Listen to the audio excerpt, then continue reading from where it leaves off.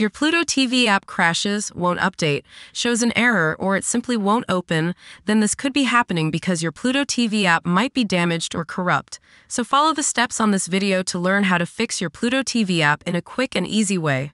First, open the Start menu. Open your settings. Open Apps.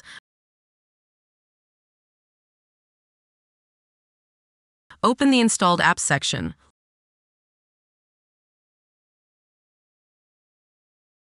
Locate Pluto TV.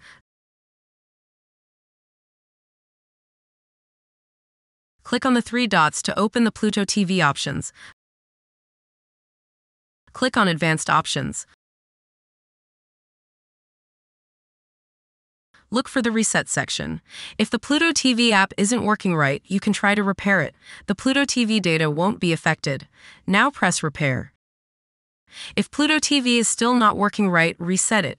Now press the Reset button. This will permanently delete Pluto TV data on this device, including preferences and sign in details. Press Reset again.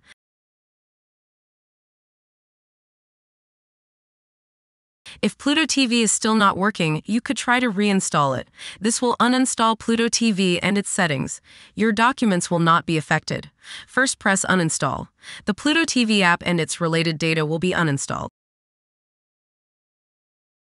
Now open your Microsoft Store to download Pluto TV again. Search for Pluto TV. Click on Pluto TV.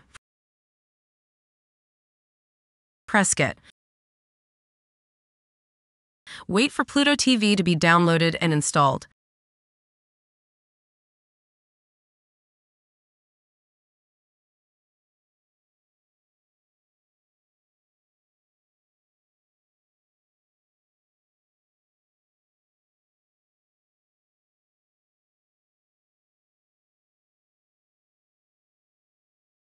Now open Pluto TV.